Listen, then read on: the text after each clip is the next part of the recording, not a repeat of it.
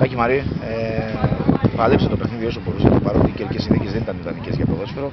Ε, τελικά ένα γκολ στο 68 του Χρήστου Καλομήρη έκρινε την αναμέτρηση και ε, για τρίτη φορά. Τα λιβάδια δεν τα κατάφεραν να φτάσουν στην κατάξυση του κυπέλλου. Δύο τους είδες στο σημερινό επίπεδο. Έτσι όπως τα λέτε είναι. Εμείς παλέψαμε, πιστεύω ότι εδώ ο κόσμος. Είμαστε καλά διαβασμένοι. Τελικώς κρίθηκες ένα γκολ, όπως το είπατε.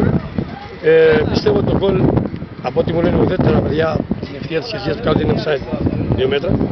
Εγώ δεν έχω άποψη από το σημείο που είμαι, αλλά μου λένε όλοι ότι είναι offside. Αυτό εντάξει το συνεχίζεται. Ε, πιστεύω ότι αξίζαμε κάτι παραπάνω, ίσως αν προηγούμαστε εμείς τα άλλαζαν όλα. Κρίθηκε στον γκολ, το βάλανε τα ζωνιά, έτυχε να το βάλουν τα ζωνιά πήραν το κύπελο, τους εύχομαι καλή συνέχεια και του χρόνου στη γάμα της Αυτά.